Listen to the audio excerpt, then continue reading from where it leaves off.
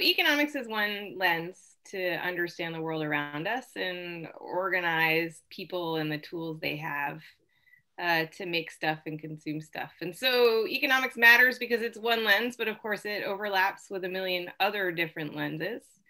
Um, and so I would say you couldn't just have an economics viewpoint on things.